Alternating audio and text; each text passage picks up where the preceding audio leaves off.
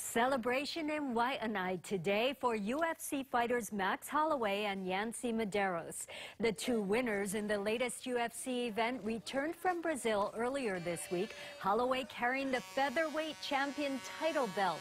And this morning, hundreds of people welcomed both with open arms on the west side, their hometown.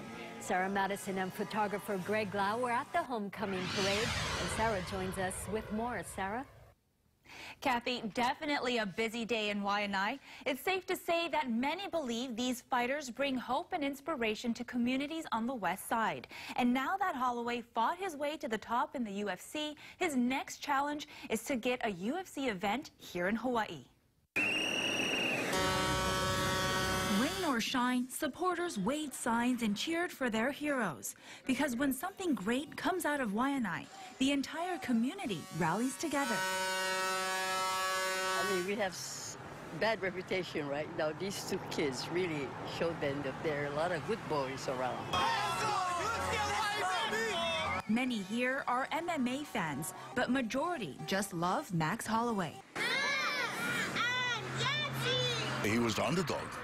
He went up there and he did his thing. He came back with the belt, you know, and make us all so proud.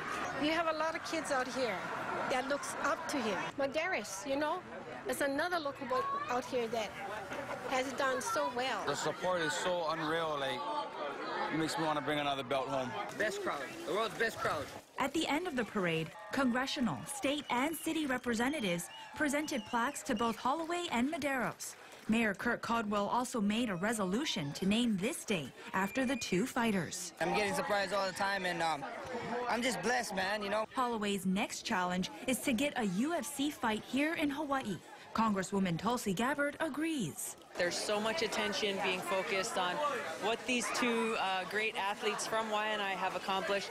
Let's capitalize on it and start to build up momentum. We asked Max Holloway where he would like to see a UFC fight here in Hawaii, and he said in his heart he would like to have it here in Waianae, but he could also see it happen at Aloha Stadium. And we had a lot of people that was from Townside that came to the airport, so and even the UFC PR said this is the craziest thing they ever saw happen uh, um, with all the other champions. They said there's no other champion that got this kind of reception. Officials at the state and city level are also ready to make it happen. We want to work together for the city and the state just to make this happen. You know, everyone should just do everything that we can to support this. It would uh, stimulate our economy. We don't have a football team. We don't have a real basketball team, but we do have Max Holloway and Yancy Medeiros. We got all the reps and stuff behind us now, and we just got to keep pushing. UFC Hawaii better happen now.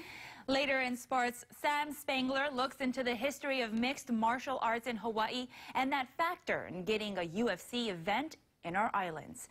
Sarah Madison, KHON 2 News.